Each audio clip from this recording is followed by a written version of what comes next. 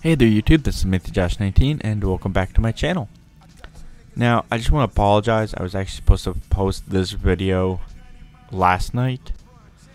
Um, but when I got home from the gym, I had a bad headache. I actually, well, I actually went to bed at 9.30 instead of, you know, my usual time of 12. So, um, but in this video, I'm going to be taking this, um, Elegy Retro Custom, which I you might have recognized it from my video I made a couple years ago where I made Paul Walker's, aka Brian O'Connor's, Nissan Skyline from the Fast and Furious from Fast and Furious 4. That's the one that he races against Dom with to try and get, and when he's like an undercover FBI agent, try and get into a drug ring. And, and but in this video, we are going to be taking this Nissan, this Nissan, and we are going to be making the Nissan GTR R33 called Nightbird from Transformers: Rise of Rise of the Beasts. Now, I've always loved the the Nissan GTR, especially this body style, because, I mean, who wouldn't? But sadly, we need to upgrade it. So you note that I'm also not in Los Angeles Customs. I'm currently in my body shop. If you can see in there, you can see all my other some of my other cars from my videos. Um, Horace the Hate Bug, Herbie the Love Bug, the Evos from Tokyo Drift, and the Fast and Too Fast Too Furious, the Skyline from Too Fast Too Furious, um, Leon Skyline from the Fast and the Furious. Bumblebee's beetle form. I forget what car those two are from, but they're from a movie. Anyway.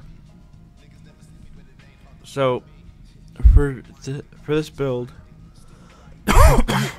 so that we're actually going to start with the wheels, because normally I do the paint job, but the wheels seem to be the easier one. So the wheels we're going to be using are can be found under sport. And we're going to be going with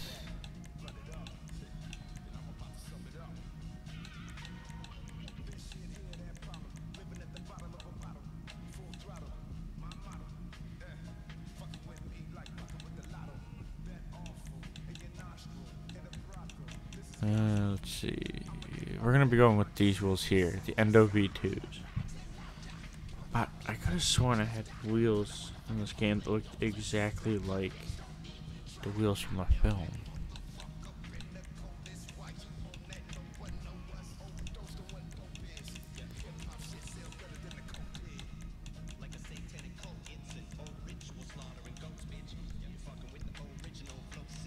Oh, the street.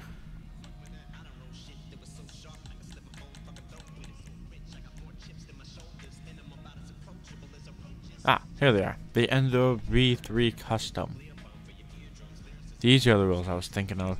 They cost $26,900. And when you get them... I didn't know I had all these colors. Cool.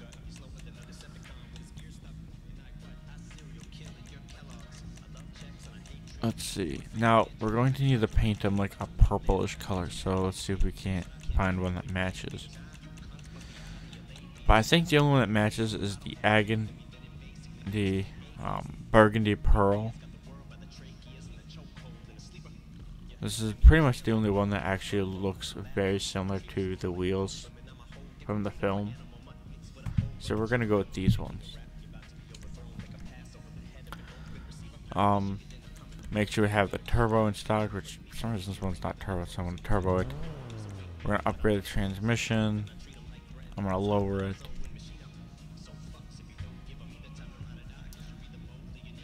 For the spoiler, we're actually gonna go with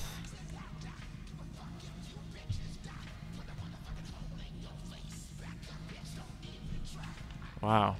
I mean but normally we'd be putting the spoiler on, but I like to have my car I want my cars to have a bumper on them. So we're gonna just gonna use the drift wing here. It's a little bit bigger than the Extreme Downforce BW, BGW. So it should come in handy. Um,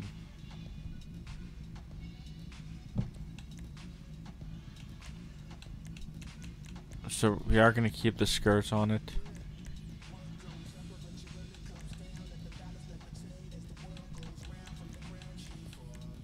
The rope we don't need to change.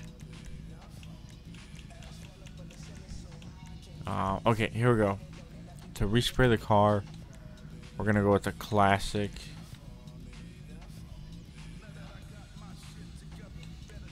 Pretty much a classic gray, like. Actually, we're gonna go with graphite, or not graphite. Uh, whatever this color is here.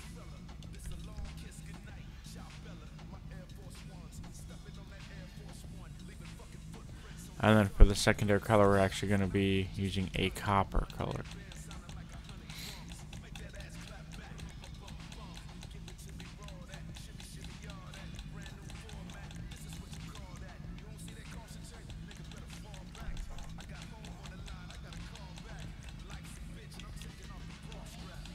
Ah, or bronze actually. We're going to go with the bronze look. Normally the bronze would be part of the rocker panels and the rest of the car would be um, gray or whatever this color is. But, you know, it's whatever. Um, next up, you're going to add your custom plate to it.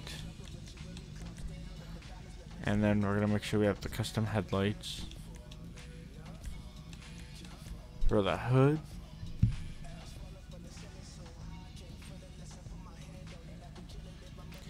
So for the hood, you don't need to do anything to the grill. We're actually going to go with the secondary grill shroud. Because in the film, both the headlight covers and the grill shroud are that bronze color. Fenders.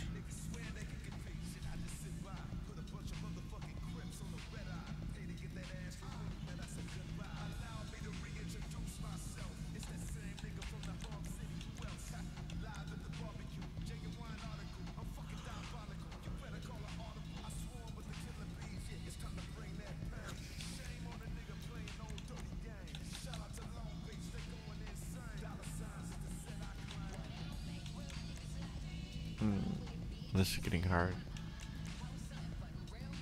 The fenders, you could do whatever. Um, you could do the wide angler rear fenders for $1,650, or you could just go with the stock fenders. The exhaust, I'm going to keep that same. Make sure the engine's upgraded. I'm going to keep my roll cage. And then the bumpers, we're actually going to be putting these bumpers on. Even though in the film, the splitters, or splitter with the canards are bronze, not carbon fiber, we are going to put them on. I'm actually going to do that with the rear bumper as well. You don't have to, but I'm going to do it anyways. Add your, make sure you have your street race brakes and your armor upgraded. And there you go. So the color scheme kind of looks the same. You know, we have the burgundy tires.